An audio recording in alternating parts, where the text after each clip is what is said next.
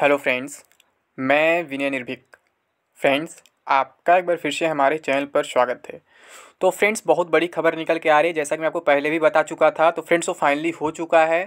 तो friends government job vacancy stop जी हाँ friends, नई भर्तियों पर रोक लग चुका है, यानी सभी भर्तियों पर रोक लग चुका है। जो लोग भर्ती हो चुके हैं, वो मतलब लकी है, उसे भर्ती हुआ ही कहाँ है, कहाँ कोई वैकेंसी अभी तक कंप्लीट हुई है, चाहे किसी स्टेट की बात करें सेंट्रल गवर्नमेंट की बात करें, लेकिन सभी भर्तियों पर लगी रोक।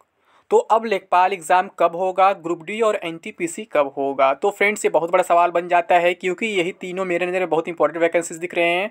लेखपाल एग्ज़ाम जो है यूपी वालों के लिए है, ग्रुप डी और एनटीपीसी पूरे इंडिया के लिए है। मतलब यूपी लेकर यूपी की वैकेंसी है, बाहर से भी लोग अप्लाई करते हैं। मतलब लेखपाल भी अदर स्टेट वालों के लिए भी काफ़ी इंपॉर्टेंट हो जाता है, अगर उन्होंने पेट का एग्ज़ाम दिया है तो। तो फ्रेंड्स बहुत बड़ी खबर है। अब ये दोनों एग्ज़ाम कब होंगे और सही भर्तियों पर रोक क्यों लगी? इसका क्या रीज़न है? क्या रीज़न इलेक्शन है या फिर ओमिक्रॉन है? अगर कहाँ से खबर आ रही है? कहाँ से मैं बात बोल रहा हूँ? तो फ्रेंड्स अगर आप लोग लगातार न्यूज़ से अपडेट रहते हैं तो आपको ये बात मालूम होगा कि ओमिक्रॉन तो डेली बढ़ ही रहा है, वो तो एक अलग इशू है। ठीक है? लेकिन अभी क्या है? आज पाँच राज्यों में चुनाव का घोषणा हो गया है। जी हाँ फ्रेंड्स आज पाँच राज्यों में चुनाव का घोषणा हो गया है। तो देख लेते हैं पहले कौन कौन से राज्य हैं।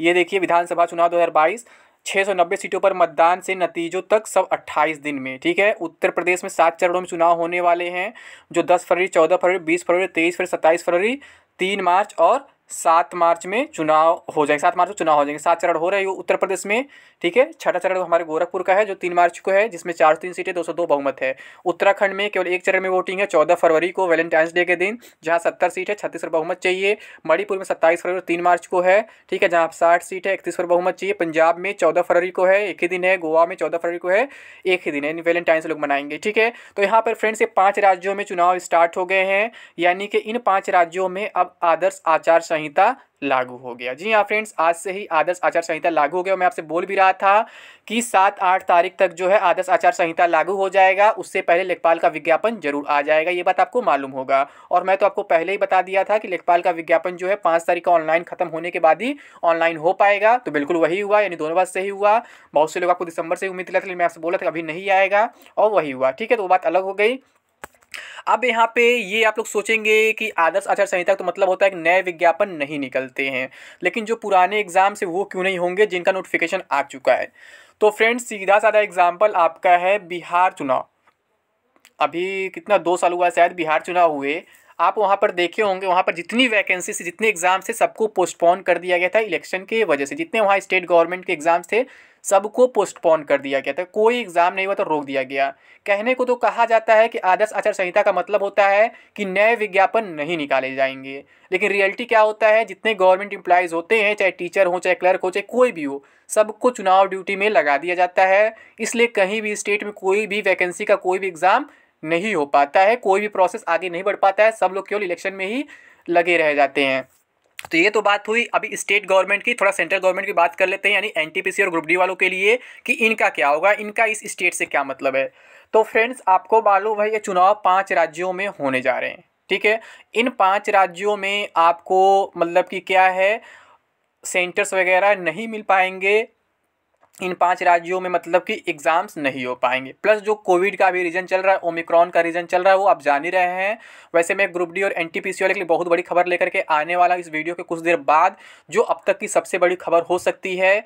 अब ये खबर फेक न्यूज़ जो वायरल है, उससे रिलेटेड नहीं है। सुबह से ही मुझे कमेंट आ रहे थे। आज मैं शाम को जब एग्ज़ाम देकर आया हूँ, जब मैं यूट्यूब ओपन किया हूँ, इतने सारे नोटिफिकेशन आए हुए थे, इतने सारे कमेंट आए हुए थे।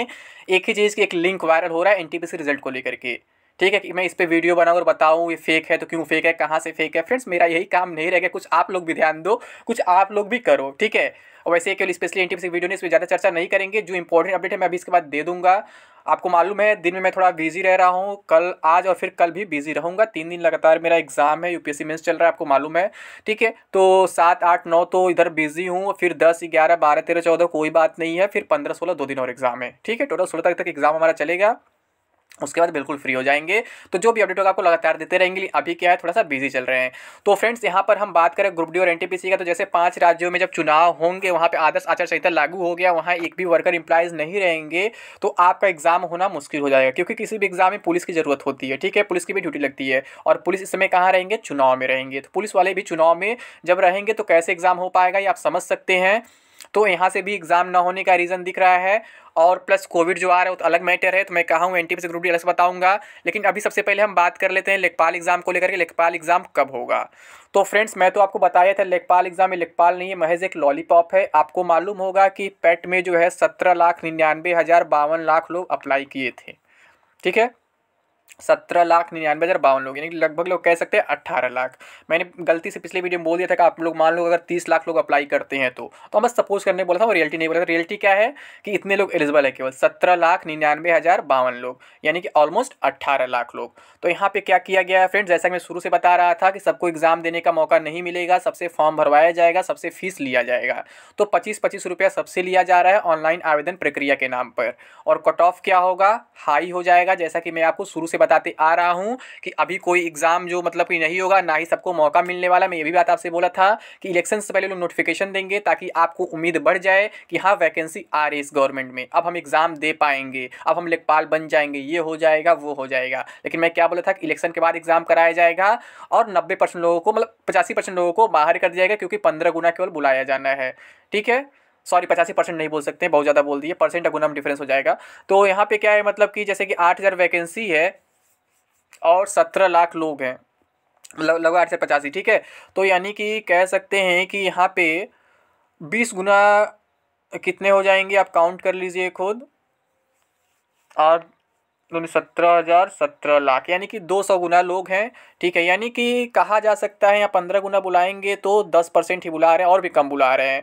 तो आप अंदाज़ा लगा लीजिए, मैं सही बोल रहा था, यानी कि कि केवल पंद्रह परसेंट को बुलाया जाएगा, बीस परसेंट तो वही चीज़ है, ये पंद्रह परसेंट से भी कम बुलाएँगे, यानी कि लगभग लगभग डेढ़ लाख मैक्सिमम कह सकते हैं बुलाएँगे। यानी कि बाकी लोग कहाँ जाएँगे, उनका कोई ज़िम्मेदारी गवर्नमेंट नहीं लेगी, आयोग नहीं लेगा।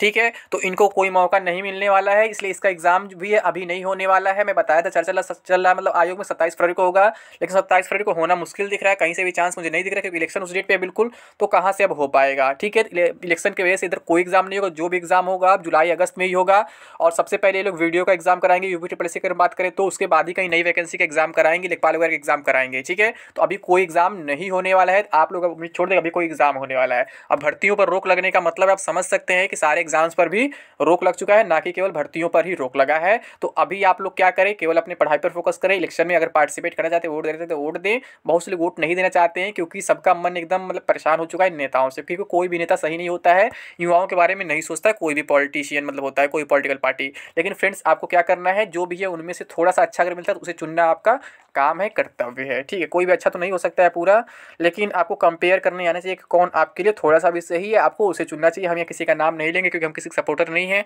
ठीक है? तो जैसे वोट सबको किसी को देता है तो वोट आप भी किसी को देते हैं बट पब्लिक किसी सपोर्ट नहीं किया जाता है, ठीक? क्योंकि हम लोग पॉलिटिशियन नहीं है पॉलिटिशियन नहीं है तो इसलिए ऐसा कुछ नहीं करेंगे। तो फ्रेंड्स आपको क्या करना है कि आपको वोट देना है प्लस अपने एग्ज़ाम पर फोकस करना है एग्ज़ाम का प्रिपरेशन करना है। अदरवाइज़ क्या है?